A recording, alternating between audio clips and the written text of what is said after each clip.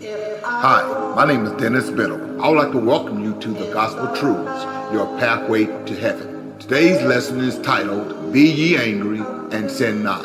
I bring this subject today because in my heart I think it's needed. There's so much division going on in the church today, so much anger, so much hatred, so much bitterness dismay. I want to say, to be frank, at the end of the day, when all the smoke is settled, it is Satan who is the author and foundation of all lies and deceit. Instead of the church focusing on the foundational mission, and that is to teach the gospel so that every person is afforded the opportunity to confess Christ and be baptized for the remission of sins. This is the case. It is the same reason why God himself annihilated the 12 tribes of Israel. It was because of their refusal to stand for righteousness. It was their refusal to walk in God's law. It is the same today. This so-called leadership in the churches, I believe is behind most of the unrest and division that exists. I believe if the apostles were to visit the churches today, the words would echo something like this. Now I beseech you, brethren, by the name of our Lord Jesus Christ, that you all speak the same thing and that there be no division among you, but that you be perfectly joined together in the same mind and in the same judgment. For it hath been declared unto me of you by my brethren, by them which are of the house of Chloe, that there are contentions among you. Now, this I say that every one of you, I am of Paul and I of Apollos and I of Cephas, and I of Christ. Is Christ divided? Was Paul crucified for you? Or were you baptized in the name of Paul?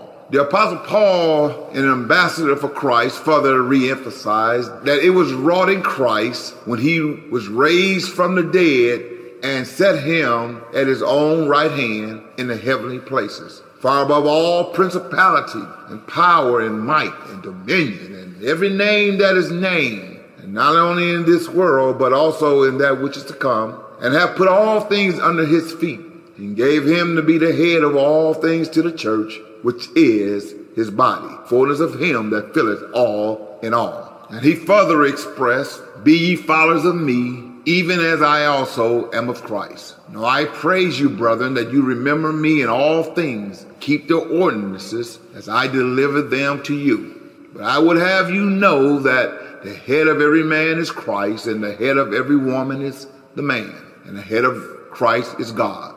And I encourage you to know, don't be surprised, for the time will come when they will not endure sound doctrine, but after their own lust shall they heap to themselves teachers and having itching ears, and they shall turn their ears away from the truth, and shall be turned unto fables. I can go on and on and on and justifying this fact Christ is the head of all things to the church, which is his body. This is one reason why we need to stop this abuse and obliteration when one express themselves as going to church. Those same people in the church today try to justify expressing God in the fashion as brick and mortar. How can a person who claims to know God lower God down to such a detriment. It was Jesus himself who thought it not robbery to be equal with God, but made himself of no reputation and took upon the form of a servant, was made in the likeness of man, and being found in fashion as a man, he humbled himself and became obedient unto death, even the death of the cross. Wherefore God also have ex highly exalted him and given him a name which is above every name, and that at the name of Jesus Christ every knee should bow of things in heaven and things in earth and things under the earth. And this is why we must accept Christ as the head of the church. And I tend, we think that God, after all what he went through, leaving glory, leaving his heavenly throne, coming down to earth to live amongst us, endured all the hatred and the backstabbing and the lying and the cheating and all the cruelty that man possessed. You think he's going to turn around after all that and give the jurisdiction and the control and the deity of the church to a mortal man, I think something's wrong with your thinking. I am so glad before our Lord and Savior went back to glory, he left us with grace and mercy. This brings me to the point of the lesson. Be ye angry and sin not. Many of us have taken the notion that it is sinful to be angry. I've heard in many Bible classes that took this stance. They forget that it was our Lord Jesus himself when he had made a scourge of small cords. He drove them all out of the temple and the sheep and the oxen and poured out the changers' money and overthrew the tables. I think you would agree with me that Jesus was pretty angry, pretty upset. I hope that you don't get the wrong impression that I'm insinuating that one can at liberty be angry or express anger without having proper cause. Yes, I say proper cause. There is a just cause for being angry. But I do want to warn this expression of be angry and sin not. I want you to contemplate this warning of liberality and ungoverned passion. Many of us can relate in being angry on an issue a family member. Many of us are guilty of being angry or displaying anger towards our children or something we felt they did that was of deserving, being right or wrong. I am convinced without reservation, I believe you would agree during the disciplinary of our children, it was done in a not so calm expression, even to the point where we probably said some things in the time of this anger we regretted it later. So it's very difficult to scrutinize this expression in restriction and sin not. I say if we have a just occasion to be angry at any time, we need to see that it is without sin. Lately, it has been on the news about a few professional football players who was punished by the league because of their inability to control their anger to the point their anger became excessive and their actions due to their anger was not tolerated by the league. I will put it this way. If we would be angry and not sin, we should be angry at nothing but sin. We should be more zealous for the glory of God and than for any interest or reputation of our own. One's enormous and common sin and anger is to allow it to burn into a passion of rage and then let it rest in our membrane. I believe this is what the apostle Paul was warning against. Here's a quick remedy to consider. If we have been provoked and have had our spirit, our feelings greatly discomposed. We are bitter and resentful towards any attempt of a resolution offered. Before the night passes, it is wise to make every effort to satisfy issue and be reconciled back to the offender and let be gone, be gone. Let not the sun go down upon your wrath, the Bible teaches. If it burn into wrath and bitterness of the spirit, we need to see to it that we suppress it quickly. Beware, I warn, although anger in itself is not sinful, but there is an apparent danger of it becoming if we are not careful and do not quickly suppress it. Be not hasty in thy spirit to be angry, for anger rests in the bosom of fools. Those who persevere in sinful anger and wrath does nothing but give glory to the devil. I want to move now to the conclusion of this matter. But before I do, I wish to declare the Hebrew word that depicts the physical expression of God's anger in the Old Testament from the book of Genesis to the book of Malachi. The Hebrew word in the Strong's Concordance is 639, pronounced as Alf, spelled A-F or A-P-H, Alf or off. It comes from another word that expresses God's anger, 599, and it's pronounced as Onaf or Onaf. Neither word deviates from its intent and meaning and the expression. It exemplifies the physical expression and disposition when God Almighty Himself was enraged or angry. It defines as the nose or nostril, the face, and occasionally a countenance expression on the face, forbearing forehead, surfing the nostril, the snout, wrath. The primary word defines it as a breathing of hardness, a anger, a displeased expression.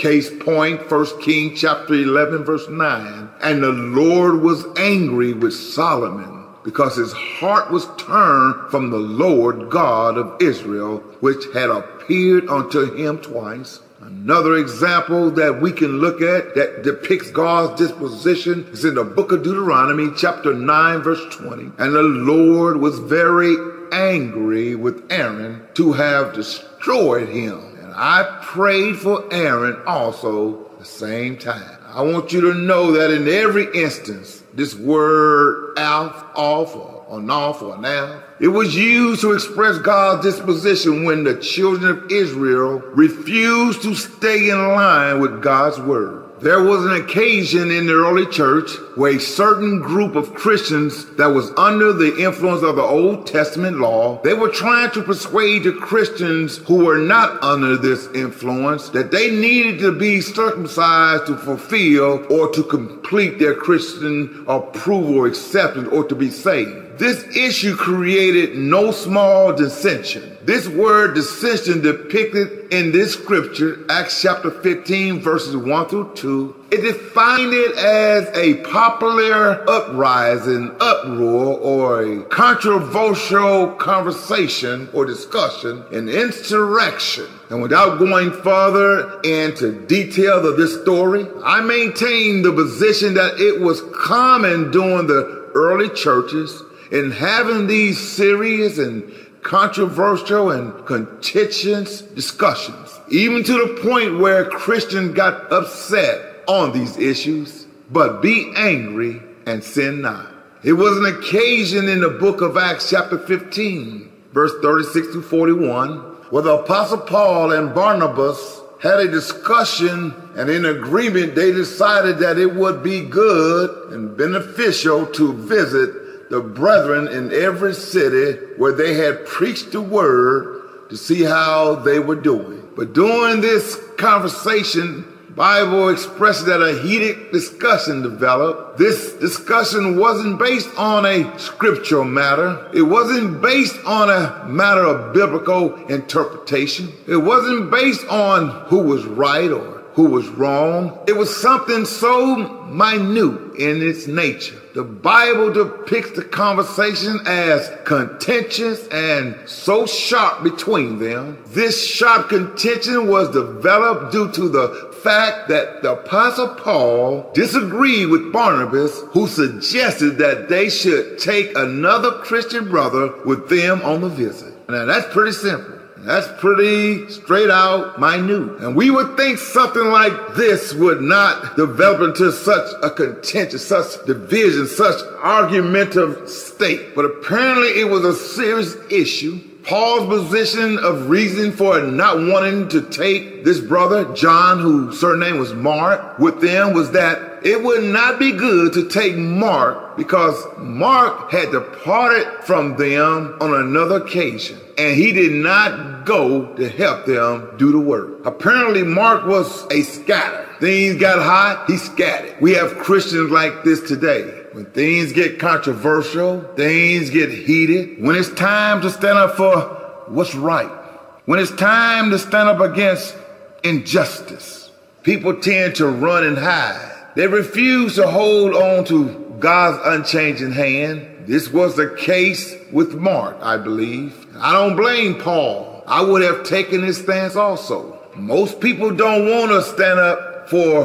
what's right because they want to keep their popularity among their friends. They're all about themselves and their feelings. Their concern is not about righteousness, but about how their friends might feel towards them if they take a godless stance. But I want you to know if you are afraid to take a righteous stand on issues that may seem controversial or contentious or heated, you ain't fit for the kingdom of God. You ain't fit to wear God's name. You ain't fit to be a child of God. And I will go a little further and I will say this.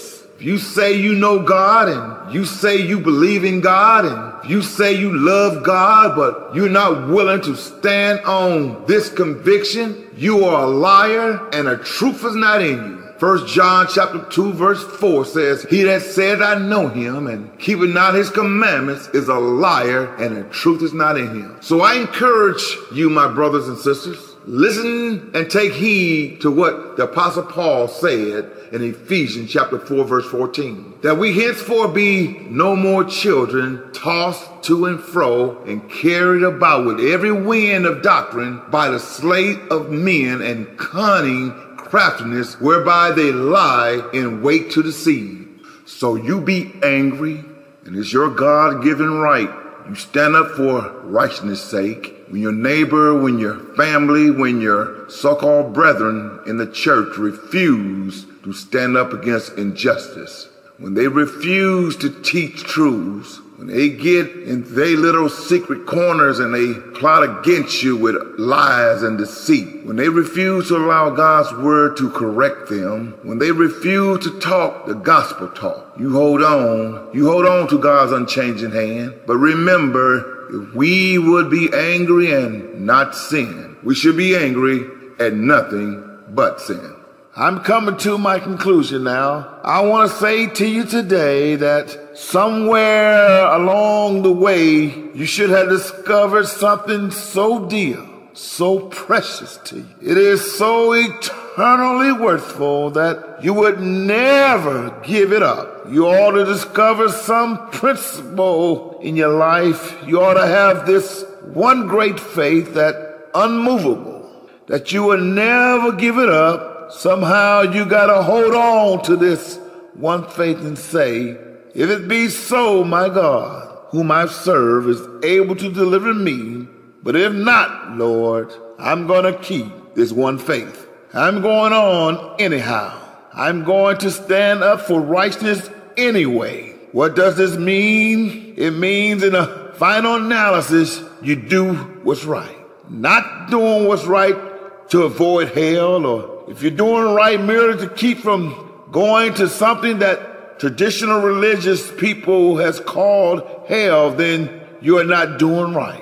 If you do right merely to a condition that religious people call heaven, you're not doing right. If you're doing right to avoid pain and to achieve happiness and pleasure, then you're not doing right. Ultimately, you must be truthful because it's right to be truthful. You must be honest ultimately because it's right to be honest. You must be just because it's right to be just. You must love ultimately because it's lovely to love. And I stand here and say to you this day, if you have never found something so dear and so precious to you that you wouldn't die for it, then you are not fit to live. You may be 18 or 35 or 78 years old. And one day some opportunity stands before that calls upon you to stand for righteousness, for justice, for some great principle, some great issue, and some great cause